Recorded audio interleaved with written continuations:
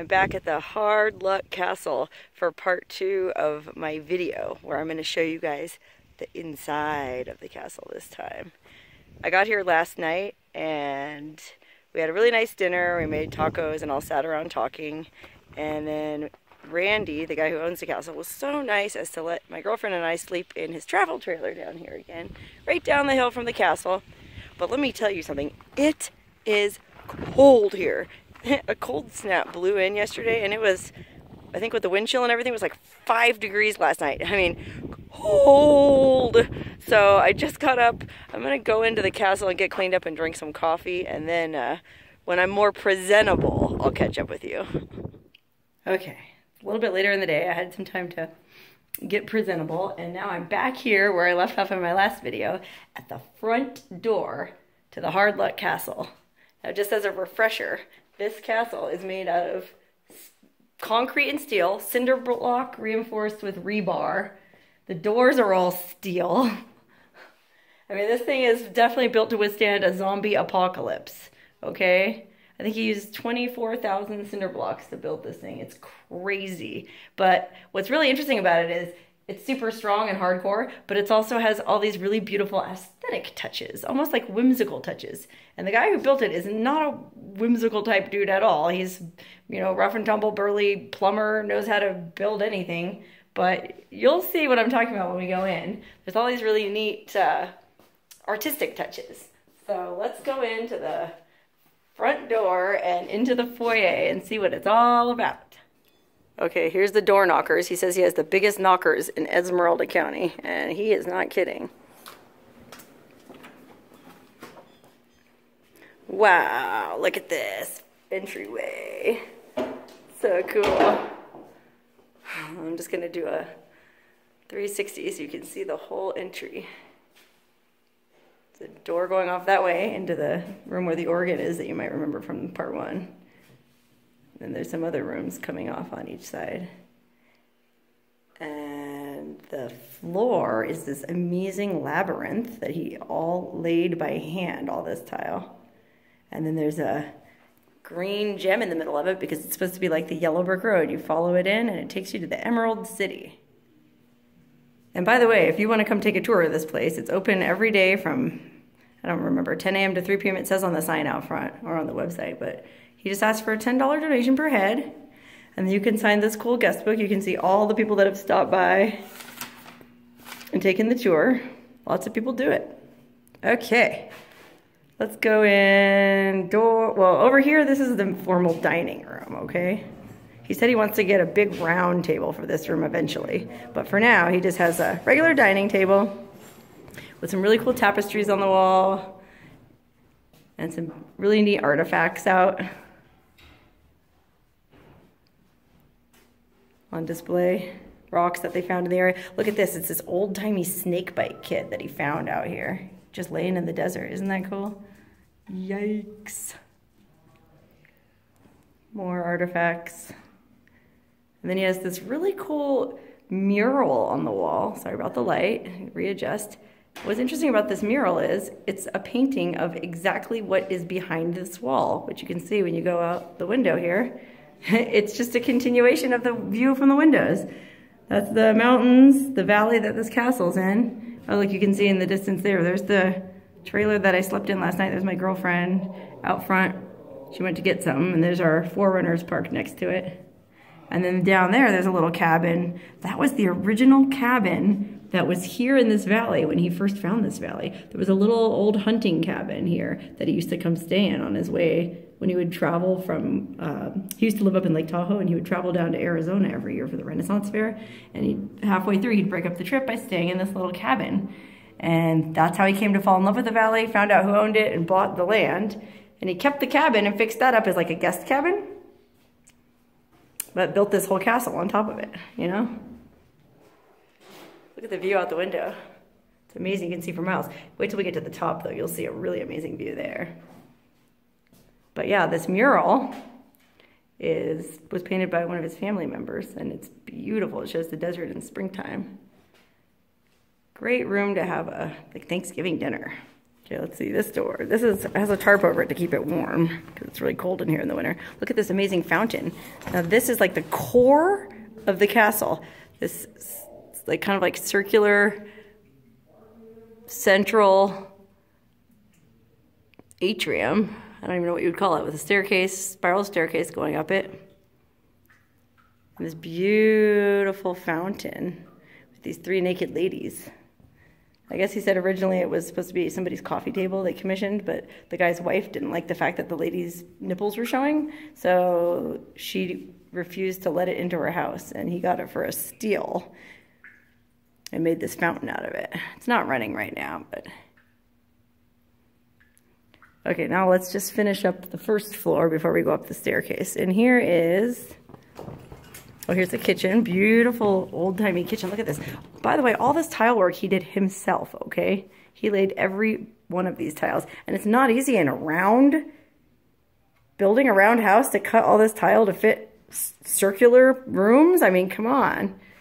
But look at that. And it's not like he just laid boring tile either. It's all like trimmed up with little interesting details. Look over here. Look at this. It's like fancy. This guy. That's what I, what I meant when I said the guy is kind of like an artist, and he loves like the '50s vibe too in the kitchen, like old '50s stove. It's really cool. And everything in this house is run on solar and wind, so we can keep an eye on how much power we have. And there's plenty of it because it's always windy and sunny out here. Okay, and look at this bathroom. Talk about amazing tile work. This bathroom is out of control beautiful. I know the light's kind of weird, but it's all this really cool blue tile. And, oh man, it's really backlit. I'm sorry about that, but look how beautiful this glass brick is with these bubbles on it. I mean, look at this shower. How cool is this freaking shower? it's amazing. And because he used to be a plumber, he put a urinal in every one of the bathrooms too. So if you're into using a urinal, you're in luck here. The detail is just so amazing. Even his Kleenex box pattern matches. Look at that. Okay, now let's go upstairs to the second floor. See what's up here. You can see all this cinder block walls is what what he used to build this thing brick by brick. Just him and some friends.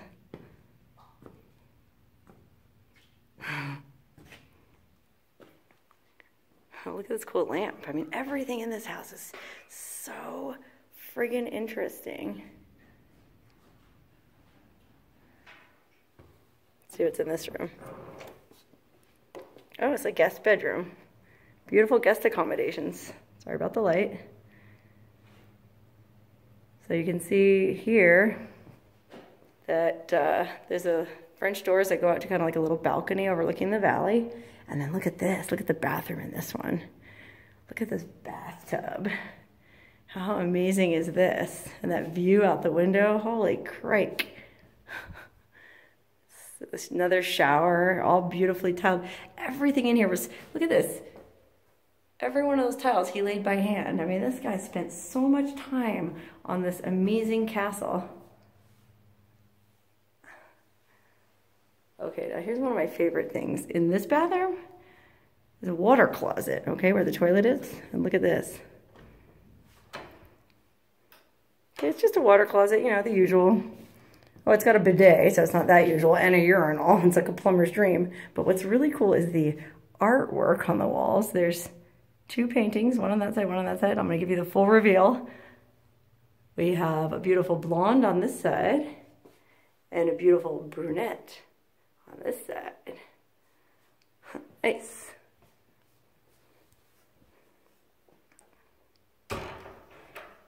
And then this room here is just another bedroom. I think he said this is gonna eventually be the master bedroom. But nothing in here yet except for the TV. And then, sorry about the light, but look, another set of French doors looking out over a balcony. An amazing friggin' view of this beautiful valley. I mean, you can see miles and miles.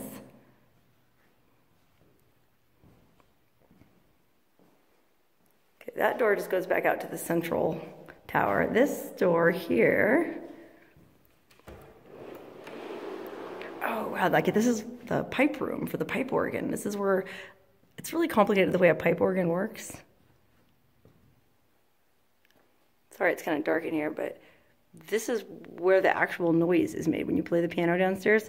Air, I mean the organ downstairs, air is forced up here through this ductwork that comes from downstairs, and this is what blasts air through all these pipes. So if you're in this room while someone is playing the piano downstairs, it's ear-splittingly loud. And I think you might actually be getting to getting ready to play the organ down there because he's got it all fired up. So I better get out of here before, I mean, if he hits one of these pipes while I'm in this room, it'll be so loud it'll blow my eardrums out. Okay, let's go back out of the master bedroom and back through this amazing master bathroom. Oh, by the way, the mosaic on the floor here has a ruby in the middle of it. Look at that. So fancy. Everything in this castle is so fancy. I mean, I guess that's what befits a castle, huh? Well, everything except for that. This bedroom reminds me of like a real castle where like this is where the this is where the lady and the lord slept. And then this is where the servant slept on a pallet on the floor. okay, we gotta go up one more floor to the very top. By the way, look at this amazing chandelier here. This used to be a street light. He said he got it for free. They were going to take it to the dump. It was some kind of fancy street light at a shopping center or something. But now it's a chandelier here at the Hard Luck Castle. Keep going up. This is my favorite part of the castle up here. You guys are really going to dig this.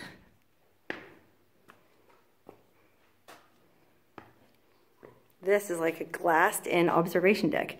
Now you might remember from my part one, that we sat in here when I was here last time and watched a meteor shower because there's no light pollution out here in this valley, right? So desolate and so far from any metropolitan areas that it's the perfect place to sit and stargaze. You can see everything. see, there's the trailer where I spent the night. It's my car. This is the, the you can see in the distance the road in. That road van just winds all the way out to kind of like where that bright white line is.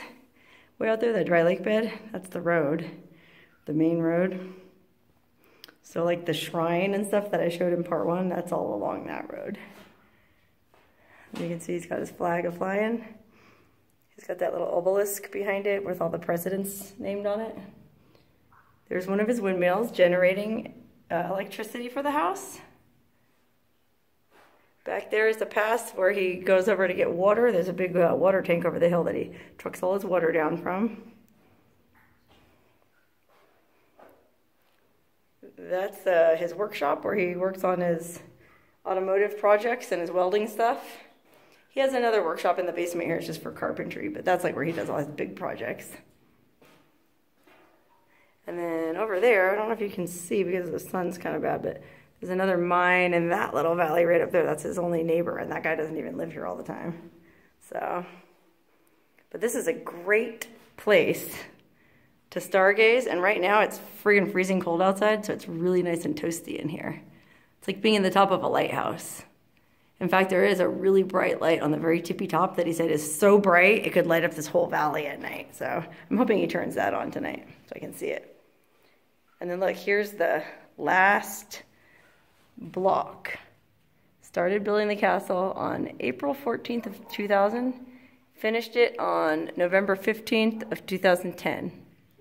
24,000 blocks.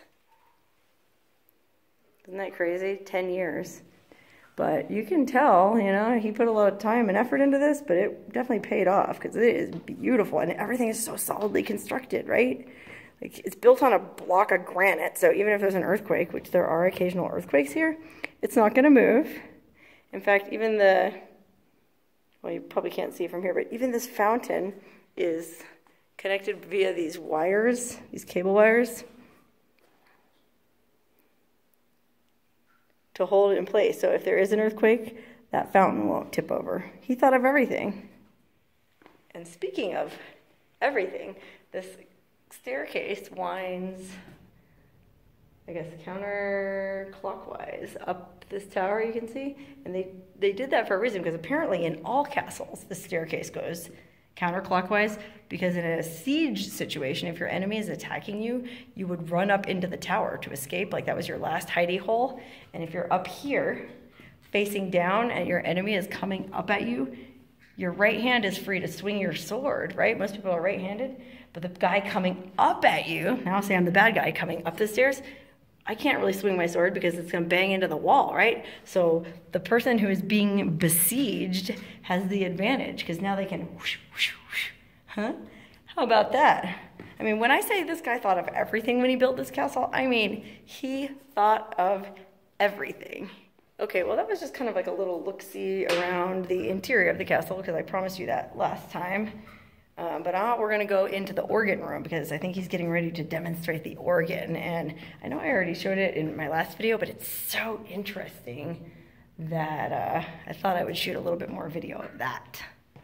Okay, we're getting ready to interview Randy. Uh, my friend Adam came with me on this visit, and he does uh, radio stuff like podcasts, and he's going to do an interview with Randy um, and ask him all about uh, the history of how he built this castle. And I don't know what he's going to do with that material, but it might come out on a podcast soon, so you can listen to that and hear the whole story. Okay, so now I'm getting ready to do an audio interview in the organ room. We're going to talk to Randy and ask him all his deepest, darkest secrets. We're going to get him really embarrassed. My, our goal in this interview is to make him blush. I think we can do it. Do you ever blush? What? Do you ever blush? I don't know what blush is. Okay, our interview with Randy went pretty well. I mean, he talked about everything. It was really interesting.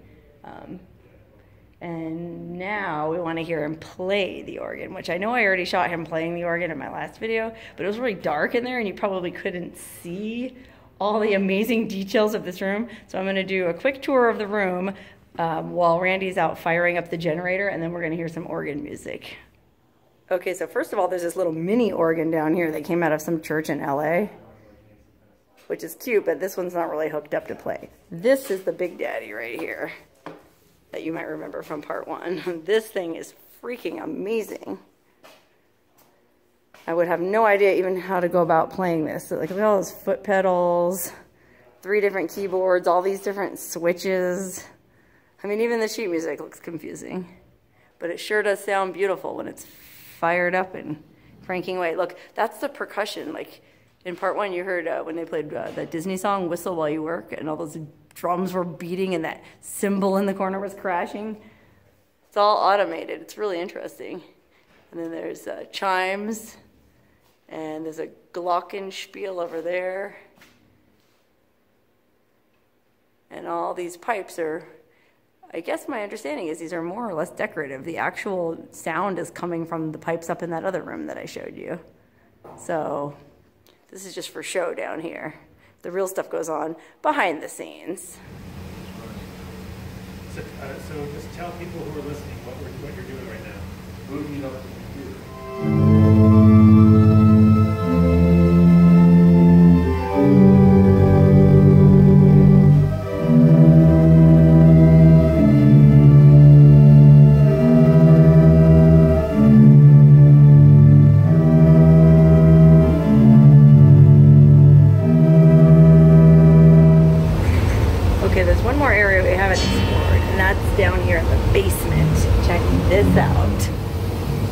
Kind of dark and spooky down here, but that's because the lights aren't turned on right now, and I'm not sure where all the light switches are, so I'm just going to show you the areas that are lit up.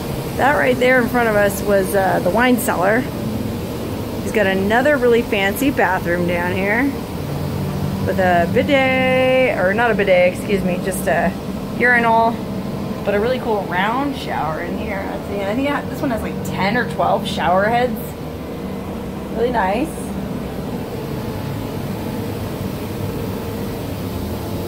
And he's got another workshop over there. And then through here, there's something really cool. First of all, he's got like an entire guest kitchen down here. If you wanted to stay over, you could have your whole own kitchen which is also, of course, beautifully tiled, like everything else in this amazing castle. And not just beautifully tiled, also decorated with funky tile. Okay, and then there's a whole bunch of DVDs and VHS tapes everywhere. You might be wondering why there's all those VHS tapes and DVDs. Well, that's because there's a movie theater. Look at this super dark in here. Let me see if I can find another light. I don't know, it's super dark in here, but look, he has this whole movie theater set up with a big screen TV in the basement and even like real movie theater seats from an actual movie theater with cup holders. And if the movie is boring and you don't find that to your liking, he also has some slot machines. Sorry it's so dark down here, you can't really see. He doesn't have them turned on, but there's a couple of slot machines, like Vegas slot machines down here too, so you could, well, you couldn't really gamble because there's no money in them, but you could play around. Anyways, there's so much amazing stuff in this castle that I could probably walk around for 20 hours and show you guys everything here, but uh, I don't want to step on this poor guy's toes more than I already have. I mean, he is very gracious to invite my friends and I over. And this time my girlfriend and I are staying two nights because we want to explore some other stuff in the mountains here. So I don't want to put him out any more than I already am. But it really is an amazing place and I really hope I get to come back here again. And like, hopefully in the summertime when it's not so cold. Because I bet it's amazing in the summer. All right, we spent a second night at the Hard Luck Castle. It's the first time I've stayed two nights. And we had a really nice time. My friend Adam, my friend Jessica, and me all hung out with Randy in the organ room and listened to him play music. We all took turns playing the organ. Well, they all took turns. I'm not very musically inclined but we had a fire going and Randy has all these really cool old books about ghost towns. So we just, it was kind of like one of those old Victorian drawing room evenings with music and books and a fire and conversation. Just a really nice night. But my friend Jessica and I are all packed up now and we're getting ready to go exploring some more cool stuff in these mountains up behind the Luck Castle. So we got to go up there and say goodbye to Randy and thank him for his hospitality. All right, we had a great time staying at the Hard Luck Castle. Randy, thank you so much for having us over. I consider you a good friend. Oh, thank you. And we'll be back again. I enjoy having both of you. You come back again. We're gonna come back in the summer and ride ATVs when it's not so cold. Oh, yeah, that'd be good. That'd be Yay! Have a good time.